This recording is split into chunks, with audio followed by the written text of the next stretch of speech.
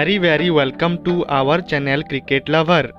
आज हम बात करने वाले हैं दिल्ली डेयर डेवल्स के 2014 के फुल स्क्वाड के बारे में। इंडियन प्रीमियर लीग 2014 में दिल्ली डेयर डेवल्स के टीम ने खेले हुए 14 मैचेस में सिर्फ़ टू मैचेस जीते थे और पॉइंट्स टेबल पर आखिरी पोजीशन पर थे।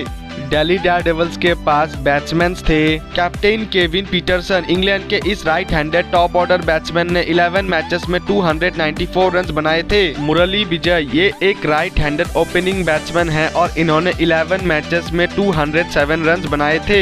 मनोज तिवारी, ये एक right handed middle order batsman है और इन्होंने 8 मैचेस में 152 रन बनाए थे। केदार जाधव, ये एक right handed lower middle order batsman है और इन्होंने 10 मैचेस में 149 रन बनाए थे।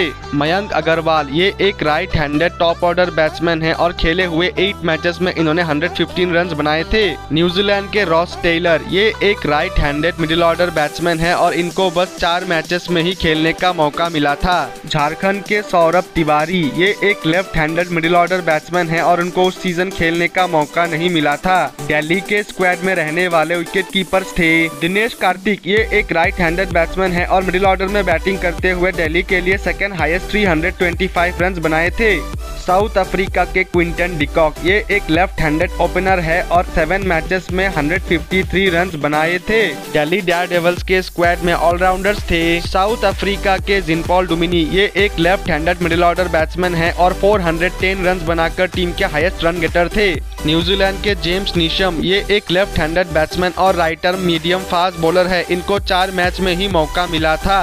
बंगाल के लक्ष्मी रतन शुक्ला, ये एक राइट हैंडेड बैट्समैन और राइटर मीडियम बॉलर है। इनको पाँच मैच में ही मौका मिला था। दिल्ली के ही मिलिंद कुमार, ये एक राइट हैंडेड बैट्समैन और राइटर और ब्रेक बॉलर है। इनको खेलने का मौका नहीं मिला था। दिल्ली डेविल्स के पास स्पिन गेंदबाज थे। साउथ अफ्रीका के इमरान ताहिर, ये एक लेग ब्रेक गुगली बॉलर है और नाइन विकेट्स लेकर वो टीम के जॉइंट हाईएस्ट विकेट टेकर थे। शाहबाज नदीम, ये एक slow left arm orthodox bowler है और एट विकेट्स लेकर वो टीम के सेकेंड हाईएस्ट विकेट टेकर थे। लेग स्पिनर राहुल शर्मा, ये एक लेग ब्रेक गुगली बॉलर है और उनको उस सीज़न बस दो मैच में ही खेलने का मौका मिला था। जयंत यादव, जो कि एक राइट टर्म और ब्रेक बॉलर है, उनको उस सीज़न खेलने का मौका नहीं मिला था। आखिरकार दिल्ली के पास तेज गेंदबाज थे। जयदेव उनटकट ये एक लेफ़्ट आर्म मीडियम बॉलर है और नाइन विकेट लेकर वो टीम के जॉइन हाईएस्ट विकेट टेकर थे। मोहम्मद शमी, जो कि एक राइट आर्म फास्ट बॉलर है और खेले हुए 12 मैचेस में सेवन विकेट झटके थे। साउथ अफ्रीका के वेन पार्नेल ये एक left arm medium fast bowler है और 8 मैचेस में सिक्स विकेट लिए थे। ऑस्ट्रेलिया के नेथन कुल्टर नाइल ये एक राइट आर्म फास्ट बॉलर है और इनको बस दो ही मैच में खेलने का मौका मिला था।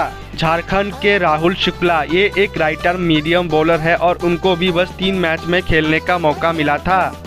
सिद्धार्थ कौल, जो कि एक राइटर, मीडियम बॉलर है और खेले हुए फाइव मैचेस में टू विकेट्स लिए थे।